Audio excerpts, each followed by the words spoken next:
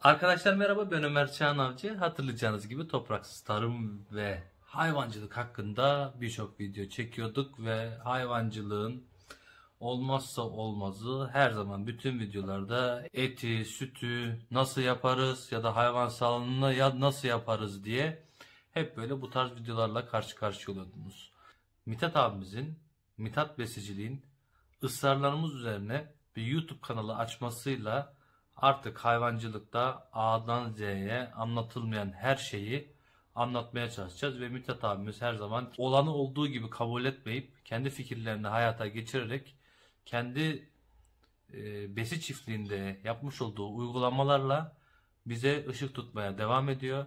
Lütfen Mithat abinin kanalına geçin ve orada abone olup Mithat abiyi takip edip aynı zamanda bildirim zilini açın ve Mithat abinin aslında hayvancılıkta ne kadar ileri görüşlü olduğunu hep birlikte izleyelim arkadaşlar.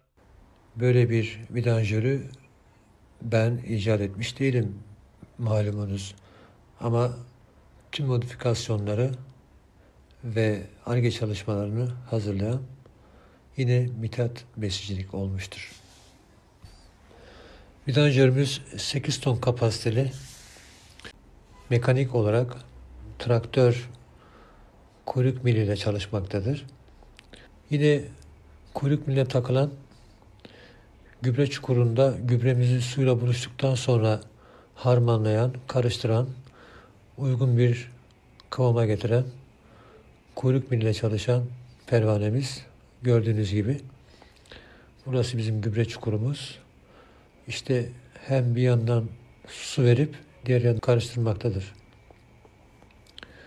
Gübremiz bu hale geldikten hemen sonra depolanıp buraya çarpıtılarak yarım ay şeklinde tarlalara verilebiliyor. Yani hat hat giderek 15 metre çapında bir açıyla tarlaya serebiliyor. Burada görmüş olduğunuz gibi. Burası bir yonca tarlası. İstenilen miktarlarda, istenilen hızda tarlanıza istediğiniz miktarları gübrenizi atabiliyorsunuz. Burası da yangın hortumları. Yine benim uyarladığım bir şey. Yine bu boruya monte edilebiliyor. Uluslararası geçiş normlarına uygun. Bu üzerinde bulunan pompa orijinal kendisine olan bir pompaydı.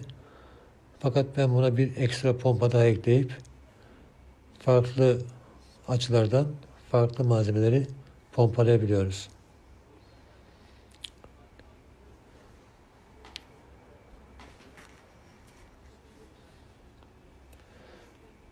Dikkat ettiyseniz bu yonca tarlasındaki yoncanın boyu şu an 15-20 santim.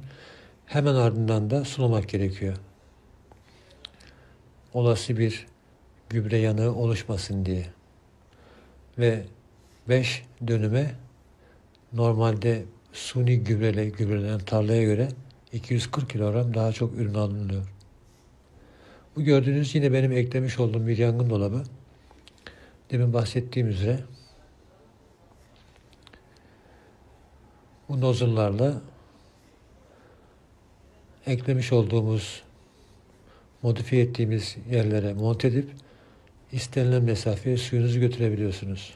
Ve biz böyle motorize bir e, ekipmanı oluşturma gereği duyduk. Değerli kardeşlerim, yine bir videonun sonuna geldik. Başka bir Hasıla Yolculuk adlı videoda buluşmak üzere. Hepinizi sevgiyle, saygıyla selamlıyorum. Çok teşekkür ediyorum. Hoşçakalın.